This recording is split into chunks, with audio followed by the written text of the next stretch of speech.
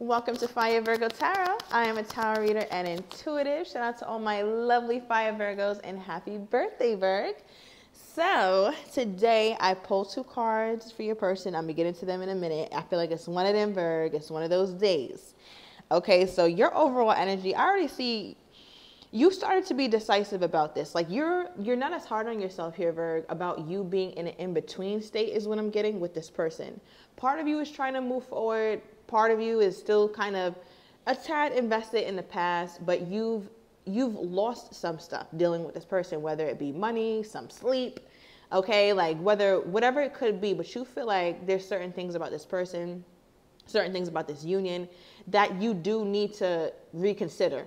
And I feel like that is what you're being clear on with yourself. Like, all right, well, I can't act like it's all fun and giggles. I can't. As much as I'd like to, as much as I like this person, but they do leave me confused or I don't like how it's going.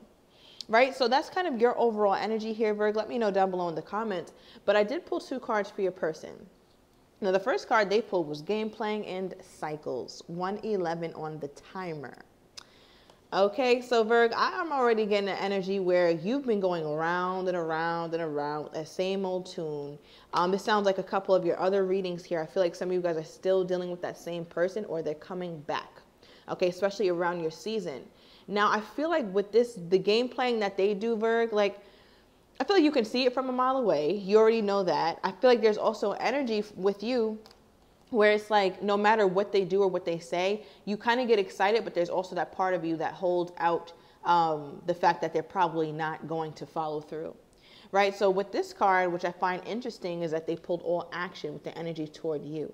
So, I feel like your person wants to show you different or show you better than they can tell you, kind of use action instead of their words. They might have overly relied on words, overly relied on just like feeling that you guys would always be good. Like, listen, listen, Buster, it's not always going to be good. You will be left in the dust.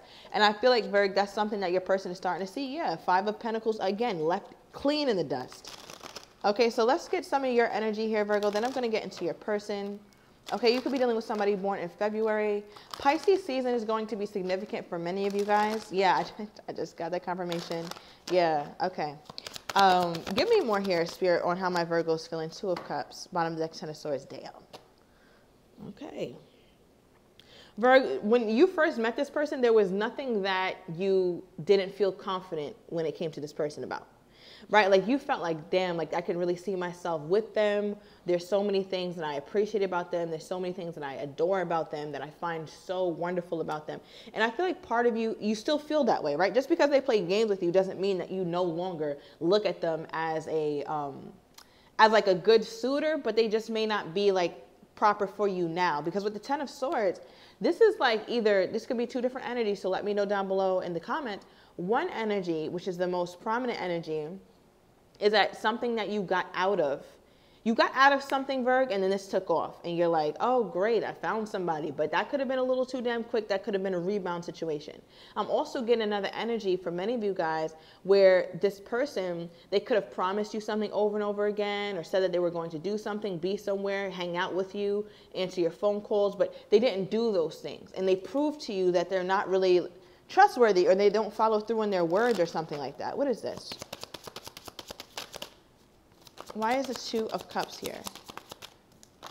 Yeah, seven of uh, seven of wands. Wow, Virgo. Okay, so I feel like you might have a friend or two who aren't too keen on this person and you're very protective. Somebody talks about this person, you're like, no, no, they didn't. They have another chance, or it's not that big of a deal. You put up with XYZ, so don't be telling me ish about my man or my woman.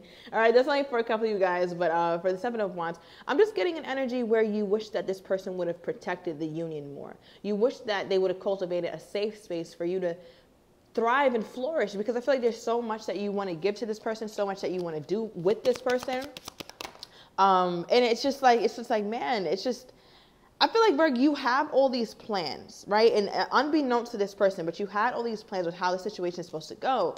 But it's like what you're receiving, you're not, you're not pleased with it.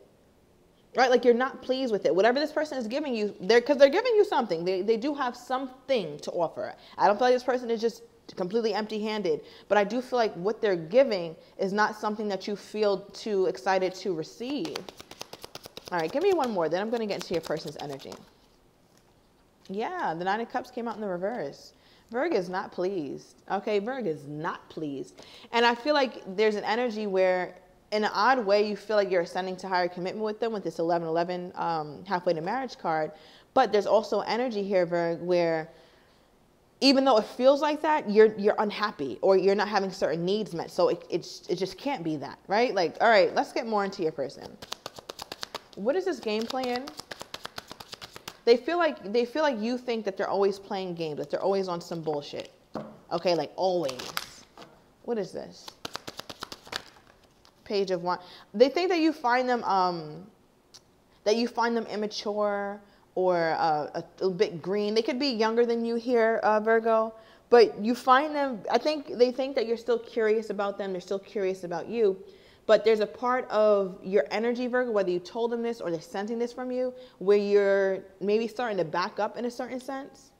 I feel like you, this person could have just messaged you. It could be a younger Aries for some of you guys. Does not have to be. Look like this person could have just messaged you or is going to message you, uh, particularly talking about plans, travel plans. Okay, maybe you coming to see them, them coming to see you. Give me more.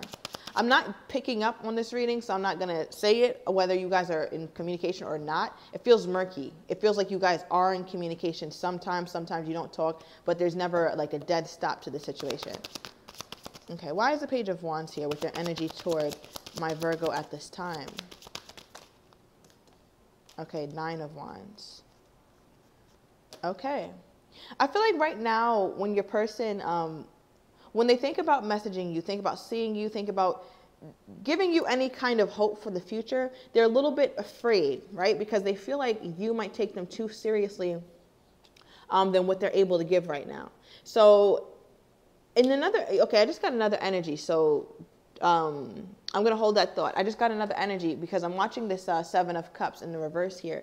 So, I feel like your person knows that you are they're wondering, okay, thank you, Spirit. They're wondering if you are the suitor for them that's like the, that the tie is strong enough for them to put aside other options for them to really make you a priority. It doesn't have to necessarily always be about other options as in people, but just like maybe um, they're full blown in their career. They're going really hard. They're doing something. Um, they're doing something like uh, feverishly, right? Like so with the seven of cups here in the reverse, I feel like they're really contemplating like do i make Virgo a priority? Like is this that kind of thing? So they seem to be figuring it out. Your person seems like they're the type to be a little bit like evasive um as far as like what where you guys stand while they're still figuring you guys out. They're not going to tell you like, Virg, yeah, I don't know about this just yet. I'm figuring it out. They're not going to say that. They're acting as though you guys are moving forward, but you kind of not. And I feel like your person is in that situation where it's like, all right, am I really going to move this forward? What is this? Okay. We're getting a lot of travel energy here. All right, so let me know if you guys are traveling maybe for your birthday or your person is going to travel to you, you're traveling to them. But with the Six of Swords, this is this is like a, a, moving on not moving on from you but moving on from this dilemma moving on from this chaos. Uh, what are they what are they wanting to move forward? Because uh, these are action oriented cards as well right? And this is the second card that they pull. So tell me about this action that this person is determined to take toward my virgo at this time. Okay.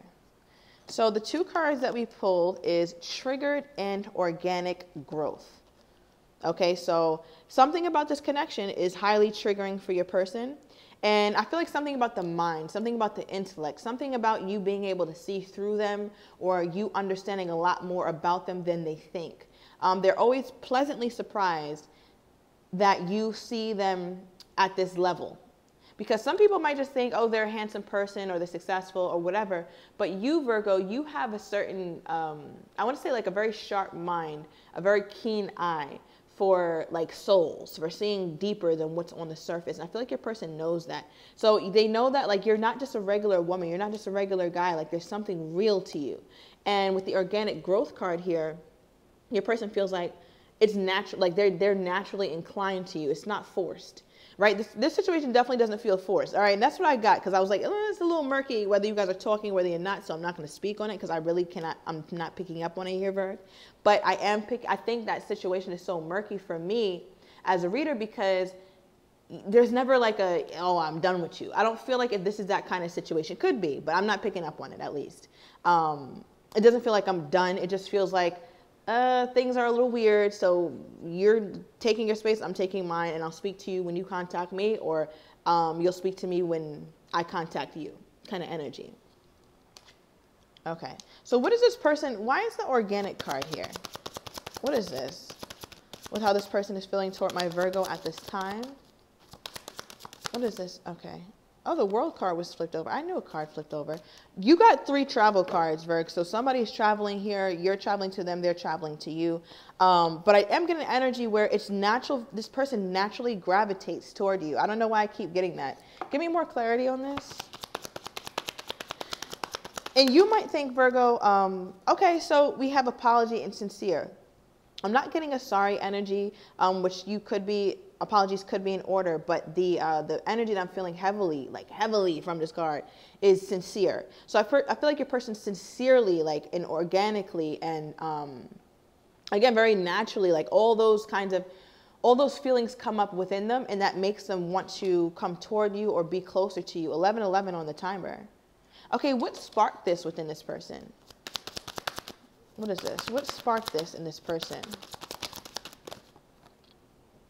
Okay, we got the Knight of Pentacles, the most stable knight in the deck. Very slow, right? But very, very stable.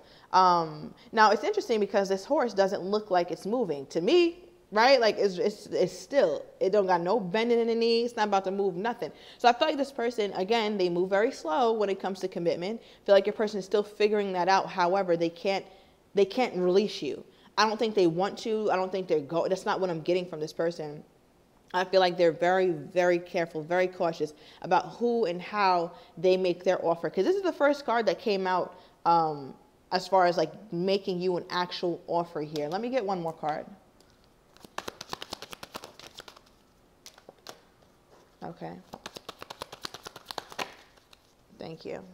So remember when I talked about this person is very priority, some, something's priority, right? And it could be their job. We did get focused on money. So that could be why they're very slow. And that could also be why they come off emotionally unavailable here, Virg, because your person knows that once emotions get in the picture, once feelings and the I love you start getting thrown around and I got a man, I got a woman, things in their life change drastically. So I feel like your person is really careful about that. When you met them, they may not have been emotionally available. Um, but perhaps that that could be turning. I mean, I don't I don't see this person operating too much in their emotions here, Virg. I'm not seeing it. Okay. I also this card just popped out, so you could be frustrated with them, or, or they're frustrated with you. This process. Give me more spirit on this person's energy toward my Virgo at this time. Oh, okay, we got tomorrow. All right, so that's a, my very soon card. Something is happening very soon within this connection, or you're going to see something very soon.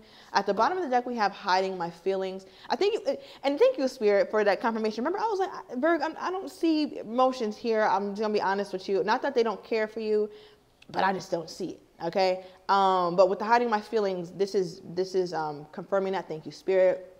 A person indeed does have feelings, but they're not they're not showing them um, especially with this emotionally unavailable card coming out. But we'll see how that may change throughout the reading. I'm going to overturn these cards in the extended Virg. I'm going to get this person's next actions toward you, how they're truly feeling but do not have the courage to say, as well as likely outcomes. So if you are interested, everything is down below in the description to the extended. See you in a minute, Virg.